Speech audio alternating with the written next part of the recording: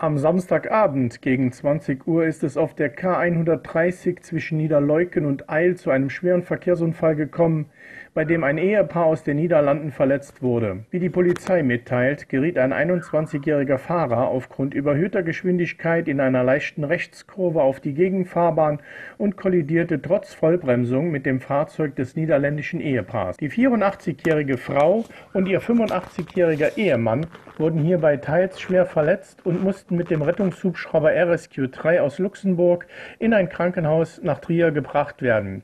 Der 21-jährige Fahrer aus der Verbandsgemeinde Saarburg blieb unverletzt. An beiden Fahrzeugen entstand ein Totalschaden. Die Kreisstraße wurde während der Rettungs- und Bergungsarbeiten voll gesperrt. Im Einsatz waren die Polizeiinspektionen Saarburg, das DRK aus Konz und Saarburg sowie die Feuerwehren aus Saarburg, Beurig und Eil.